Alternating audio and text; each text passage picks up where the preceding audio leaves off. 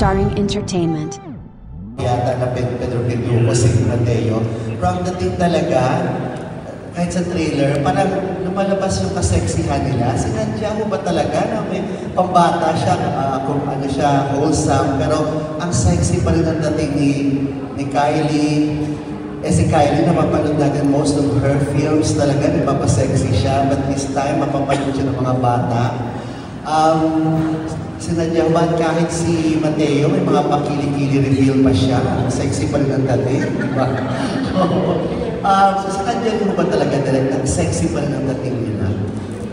Yung, Kahit pambata na pelikula. I think yung pagiging sexy nila is dahil sexy talaga sila. naman talaga sila? Oo, hindi naman parang, uy, kunin natin si ganyan. Sa outfit eh. hindi yung parang kinuha natin dahil sexy. Kasi nga, it's supposed to be a family movie. Eh, sadyang sexy lang sila. Wala tayong nagagawa yun.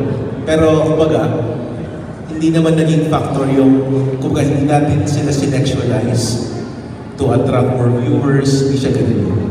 So, parang di ba sa mga superhero movies din naman from the US, sina Captain America, sina Thor, di ba? Buff din sila, sometimes sexy. Um, sino si Scarlett Johansson? Um, Black Widow. Black Widow, di ba? Sexy sila kahit without revealing much. So, kataon lang. Oh, may reaction ka kay kasi may mga, most of her films, movie or films na, I ba? beg to disagree that Ah, most okay. of my films are sexy. If you watch my recent films, I did one last year with Direct Jason Paul Lak- um, Laksamhana, uh, Baby Boy, Baby Girl na nag number one din po sa Amazon Prime, which had no sexy scenes at all. Pero sexy pa ang dating mo. so, So hindi naman, sometimes it's not my fault anymore. Baka po sa pag-perceive nyo na lang or something. Pero, but, I don't know. I, I don't try to be sexy or anything. I guess it's, I don't know. It's, it's, it's just natural. I don't try to be anything more than I am.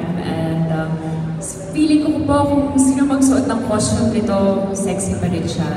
And feeling ko sa personality sexy, hindi lang po sa damit, hindi, hindi lang po sa pagpapakita ng katawan, it's the way you talk, it's the way you carry yourself. It's, and si Liway po, hindi po siya sobrang sexy. Feeling ko nga, hindi niya alam na maganda siya, pero malakas yung, um, malakas yung dating, malakas yung She fights for something, she holds team together, she believes in Pedro. Isa siya, for me, parang symbol ng women na hindi lang lalaki ang pwede makipag-away. May mga baba, may mga babae na pwede mag-excel in different forms of, let's say, martial arts. Ako po, valedictorian dun sa class namin. So, it's a representation na kayang maging malakas ng mga women. And even though I look like this, and pinaghihirapan ko naman din po, it's, it's not that sexy lang po yung, yung tawag sa akin. I feel like I'm more than that. Thank you. Do you feel that? Do you feel that? Nga, ang tingin talaga sa iyo ay ang sexy mo. Kahit sa isang wholesome film, isang wholesome movie, eh, lumalabas pa rin yung pagka-sexy mo talaga. I, It's not a compliment sa iyo pag sinasabi na sexy mo. I mean, I, I guess even if I'm in a shirt or jeans, you would st- still okay. I would take it as a compliment, but at the same time, I don't want it to define me. Hindi ko gusto na, sino ba si Kylie? Hindi ko gusto na sexy. Ayaw mo sabihin kang sexy na actress. Matalino, magaling na actress, Ah. ma- ma- mabuti na kaibigan, daughter, mabait na tao. After the physical attributes. Siyempre, kung may makikita sa first impression,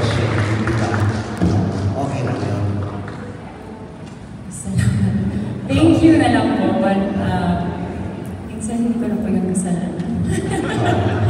but thank you, thank you. I, I, I appreciate that. Okay. Mateo, um, yun nga, sabi nga ni Kuya Mario, kanya isang isang, ikaw ang pinaka-buff na penduko so far. At uh, yun nga, sexy pa rin yung dating mo, may mga ka, ganyan. Sorry, walang pagnanasa yung tanong ko ha.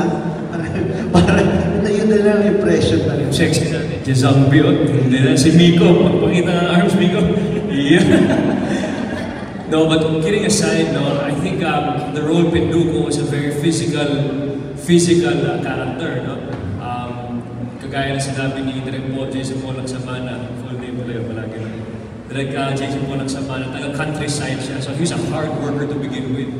He worked for his father, hard worker. So, so lahat ng mga trabaho niya very physical. So, kumbaga, kailangan paghandaan din yung pelikula dahil dapat uh, matigas din tayo, di ba, na physically fit for the role. But specifically, hindi yung bodybuilder na macho. Talaga ordinary na matigas lang ba? Kasi he's an everyday worker.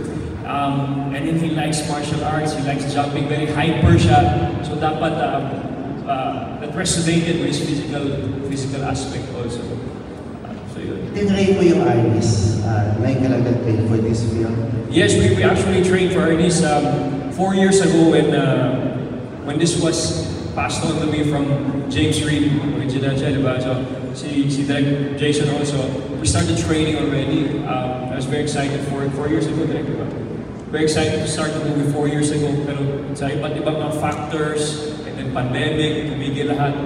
So we were training, and I, I believe this past four years, this made me ready for today.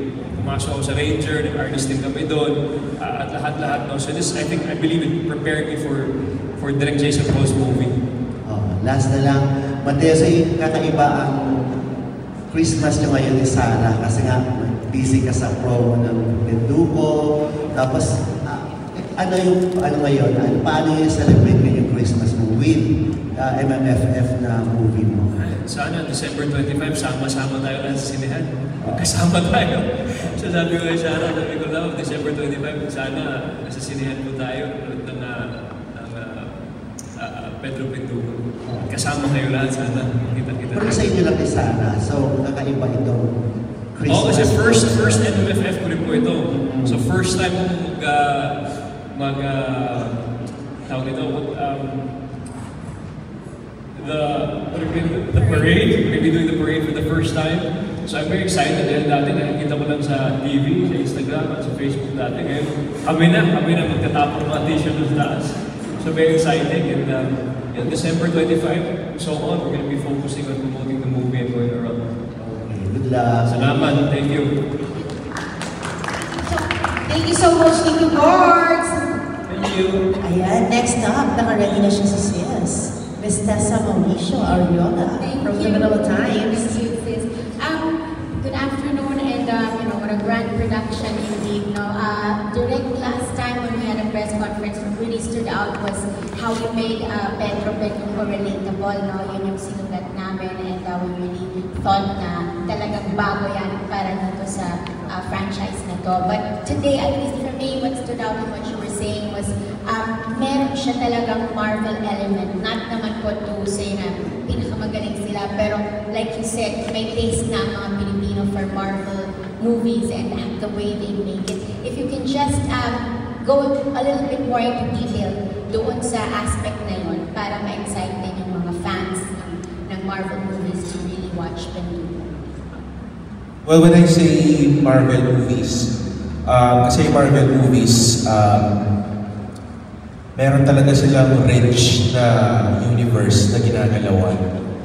Na nakikita mo rin yung effort na ina-adjust nila sa present time. Di ba kasi supposed to be yung mga superheroes na yun, ginawa sila early 1900s, mid, uh, mid 1900s pa, di ba? Pero nagawa nilang i-transport yung story nila at gawing relevant sa 21st century or sa ano ba dekada ngayon. Basta sa present time. So, ganito rin, isip ko rin si Pinduko kung paano natin siya gagawing relevant ulit. Sino yung mga kalaban niya, kung paano natin gagawing relevant sa perspective ng Pinoy sa, ah, sa panahon ngayon. So, yun lang naman kasi ang galing ng Marvel sa ganun eh. Yes, yes, yung weaving stories together. Yes. But I was also thinking more of um, yung pong effects po na uh, ginagamit now. Is it really so much different than probably past um, you know, Pentugos that, that we've seen? Ma-impress ma-amaze din po ba ang audience natin? Well, I am trying to be real na hindi natin kaya tapatan yung effects na meron yung Hollywood. Di ba? Not even the Koreans can match yung level of effects ng Hollywood.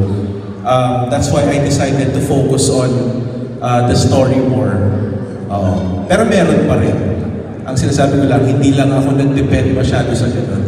Di ba? Kasi magmumukhang trying hard kung hindi kaya i-pull off, di ba? At magiging distracting lang talaga dun sa kwento. Di ba? So, pag napanood niyo yung movie, you will see visual effects. But all are, ano yung, uh, in the service of the story. Yun.